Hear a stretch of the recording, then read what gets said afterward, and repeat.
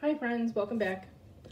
We are next going to read one of Aggie and my favorite stories. It is called Drummer Hoff, adapted by Barbara Emberley, illustrated by Ed Emberley.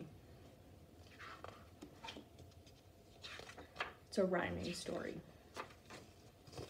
Drummer Hoff fired it off.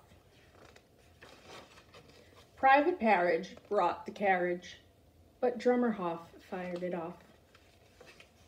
Corporal Farrell brought the barrel. Corporal Farrell brought the barrel. Private Parriage brought the carriage, but Drummer Hoff fired it off. Sergeant Chowder brought the powder. Sergeant Chowder brought the powder. Corporal Farrell brought the barrel. Private Parriage brought the carriage, but Drummer Hoff fired it off. Captain Bammer brought the rammer. Captain Bammer brought the rammer, Sergeant Chowder brought the powder, Corporal Farrell brought the barrel, Private Parriage brought the carriage, but Drummer Hoff fired it off.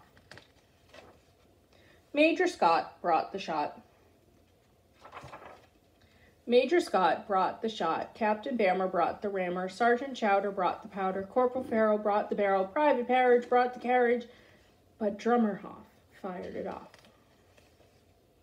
Corporal Border gave the order. General Border gave the order. Major Scott brought the shot. Captain Bammer brought the rammer. Sergeant Chowder brought the powder. Corporal Farrell brought the barrel. Private Parriage brought the carriage. But Drummer Hoff fired it off. Fire!